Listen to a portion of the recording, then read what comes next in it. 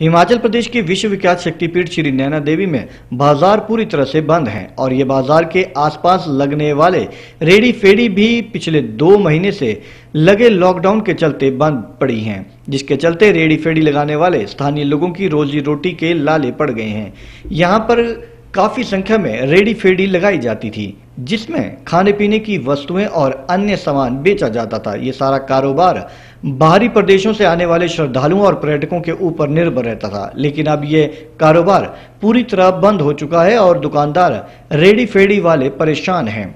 अपना गुजार बसर कैसे करें और इनका भविष्य क्या होगा, इसको लेकर ये चिंतित हैं।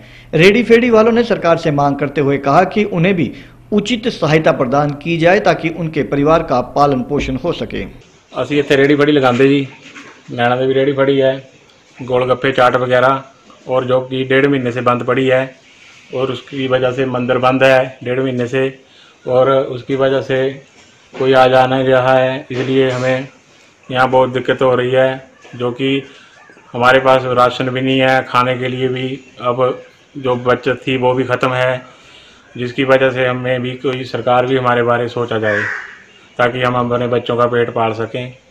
हमें बहुत दिक्कत आ रही है और हमारी सरकार से विनती है कि हमारे बारे में भी कोई सोचा जाए ताकि हम अपने बच्चों का भी पेट पाल सकें। कोई आर्थिक सहायता कोई प्रदान नहीं की।